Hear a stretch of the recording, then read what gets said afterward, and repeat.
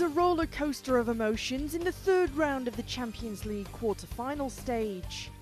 A first win for Marseille, an incredible comeback for Novi Beograd, and great games in Brescia and Barcelona. Welcome to the Water Polo Champions League highlights. The first Group A duel of the third round was played at Poljud, Jadran versus Marseille, two teams that experienced back-to-back defeats were in search for their first victory in the quarter-final stage. And it was off to a great start for the hosts. Jadran took the lead in the first two minutes. First, through Loren Fatovic's extra player shot and Jerko Marinic Kragic's penalty goal. But it didn't last long, as the guests answered with three goals. Toma Vernoux, Alessandro Velotto and Andrea Pulenovic found the back of the net to make it 3-2. Two extra players shot goals for each side and we were off to the second quarter. Goal after goal in the second period, but the men of the hour were the goalkeepers. Ivan Marsalic and Dejan Lazovic pulled off some incredible saves, such as this one and this one, for example. 6-6 with 16 minutes of the game still to go, and it only became more interesting. Why? Because it was the turning point for the French side. Mostly thanks to Pulenovic, who was absolutely spectacular. It was his extra player goal, the second one of the game by the way, and Hugo Crousillat's goal that created the biggest advantage for Marseille. It took almost six and a half minutes for Jadran to find the back of the net in the third quarter. Verlic was left alone on the right post, and Jadran took advantage of that once again to make it 8-9.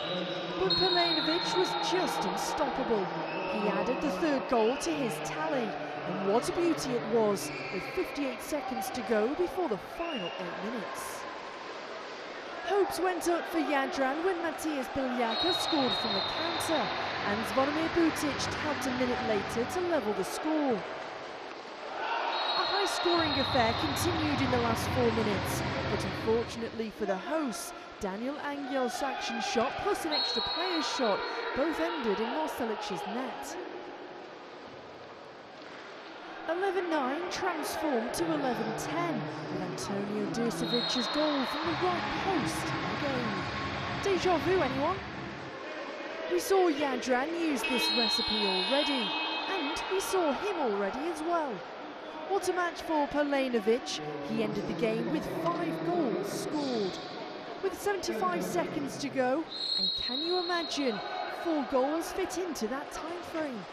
Konstantin Kharkov with a lovely six-metre shot, Pulenovic, Marinic Kragic and the final goal belonged to Vernoux, who put the game to bed for the final score, 14-12 for Marseille.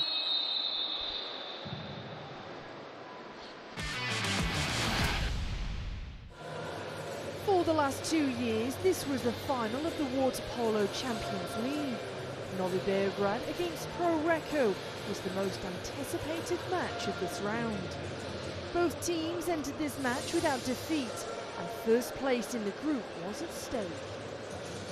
The game started with granite defences.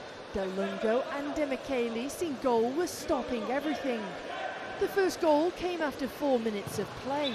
Gondeni scores in an extra player situation. Pro Recco can score another one, but Zalanki literally drops the ball on penalty execution. Novi Beograd needed more than six minutes to score. Jaksic from the outside is too strong for Del Lungo. The second quarter went to the Italians. With excellent defence, Pro Recco was creating good opportunities. Cannella is used as a team counter-attack to score for 1-2. That was the start of an unstoppable avalanche from the title holders.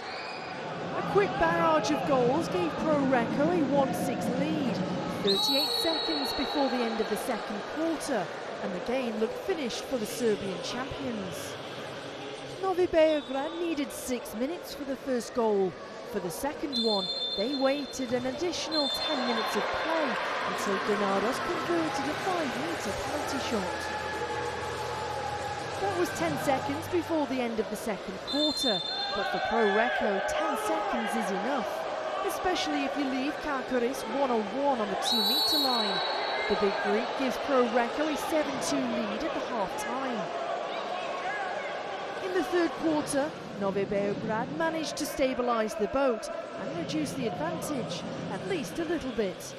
After three quarters, the Italians were still in control. After Jasic scored with a man-up advantage, it was 5-9 for Pro Recco with eight minutes to go. At the beginning of the last quarter, Skoumpakis sent a rocket to give hope to Novi Beograd fans and bring the deficit to minus three. In the next attack, Kakaris earns a third penalty for Pro Recco. This time, Fondelli hits the post and Novi Beograd responds with Filipovic. Recco's advantage is only two goals. The Serbian defence has no cure for Kakaris. The Greek centre gets another penalty. This time, Cannella is calm, and Pro leads 10-7, four and a half minutes before the end of the match. That was the last goal the Italians scored in this match, after Filipovic scored his second in the match to reduce the deficit to two goals. Recco has another penalty, fifth in this game. Cannella takes the responsibility, but Demichelis on the Serbian goal stops him. That was the third wasted penalty shot from Pro Recco in this match.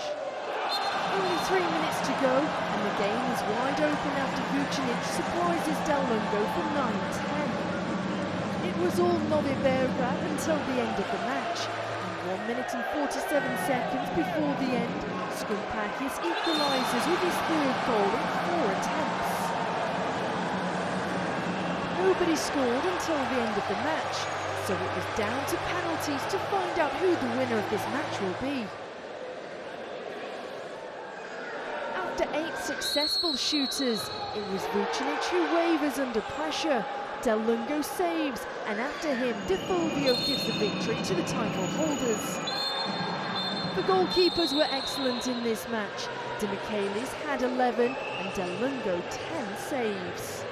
The best shooters from both sides were not effective in this match. Granados was 1 from 9 and on the other side Zalanki 0 from 4. After the loss in Piraeus in the second round against Olympiacos, Barceloneta needed to win at home. The problem with that was the guests, the Hungarian champions Ferencvaros, are undefeated in all competitions this season and are leading the group. Ferencvaros needed a lot of attempts to get past Aguirre on the Barceloneta goal.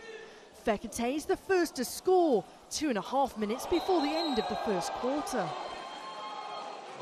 Barceloneta responds with Munarriz. Vogel cannot stop his shot from the outside, it's one all after the first eight minutes. Both teams start finding the net after that. First, Nemeth with another goal from the centre position for the guests. The Catalans are back after a sweet Munarriz pass for Perrone, and it's now 2 all. Barceloneta leads 3 2. Munarriz fakes Vogel for another pretty shot from 5 metres. The hosts are finding the net in the attack, and in defence it's all Aguirre on the goal. Mandic has the penalty, but Aguirre and the post stop him. The Spanish national team goalkeeper is impossible to beat. By the middle of the second quarter, he already has nine saves. It's not enough to stop Ferencvaros. First, Jansik uses an extra player situation and then, in the last seconds of the quarter, Nagy gives the Fradi the lead at half-time. As the game goes on, Ferencvaros has a two-goal lead for the first time after Argyropoulos' goal at the beginning of the third. In a great game, both teams are giving their best. After goals from Paviliard for 5 all and Varga from the outside for 5-6, Munarriz is lethal again with his third goal in the match for 6 all.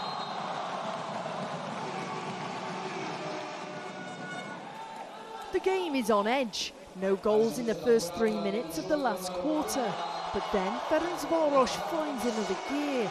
After Biellara reduced the advantage to 7-8, two goals from Fekete give Ferencvaros a three-goal lead. The last one is especially important, as it was scored in the last seconds of the attack from far, far away. Barceloneta attempted a comeback.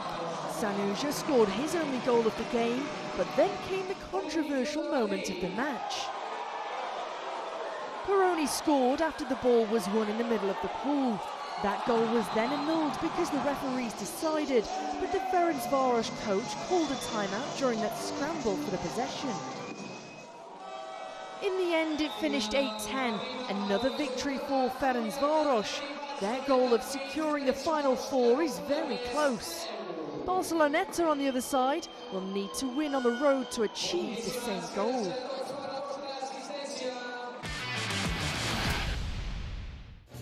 Brescia entered the third round match as the only team without a point in Group B, whilst Olympiakos had one win and one loss. The Greeks started the game better, Already in the first attack, after a well-played extra player, Alafragis scored. Two minutes later, Alesiani took advantage of the opponent's carelessness. He won the extra player and finished the action on the counter-attack for the first goal of the Italians. Until the end of the first quarter, it was goal for goal. The guests would take the lead and the home team equalised. So the first quarter ended with 4-4. Brescia's first lead right at the beginning of the second quarter was brought by Del Basso with a goal from the goalpost with an overhand player. A lot of goals were scored with a numerical advantage in the pool, so Dimmu responded for Olympiakos at the end of the second minute. The situation was now reversed. It was Brescia who were leading and Olympiakos were catching up to their advantage. It was like that until the middle of the game in the second quarter, when Irving shot from the outside position to give the host a new lead. A reversal followed. After a quick play, Guvis first equalised. The same player from the central position scored the next goal for the turnaround. And the lead of Hrvoje Koljanin's team was 8-7 at half-time.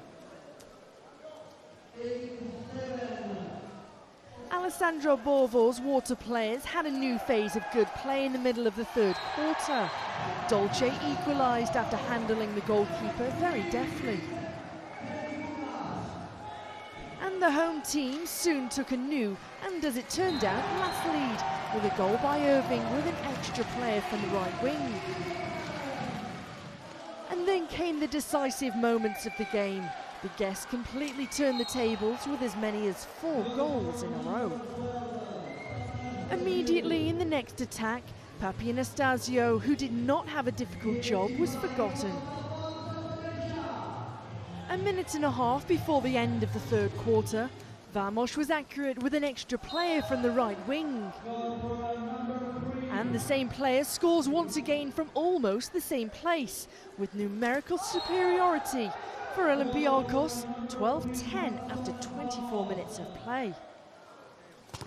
The Hungarian representative continued to show at the beginning of the last quarter, when he scored a wonderful goal to give his team a three-goal advantage and settle the game.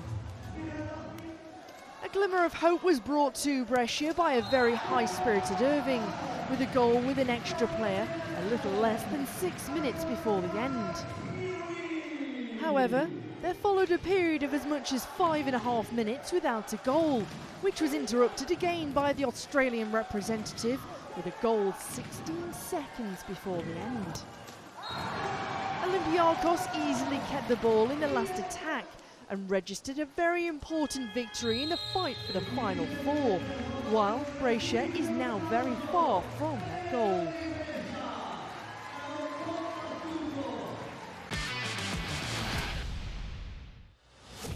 These are the standings after three rounds. In Group A, Pro Recco and Novi Beograd have run away with 8 points and 7 points respectively.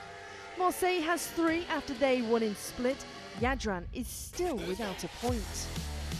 In Group B, Ferencvaros is in first with 9 points. Olympiacos is in second with 6 points. After two consecutive defeats, Barceloneta is third and Brescia is last. In the next round, Brescia will face Barceloneta, whilst Olympiacos play Ferencvaros. Jadran come up against Novi Beograd, and Marseille will challenge Group A leaders Pro Recco. We'll see you then.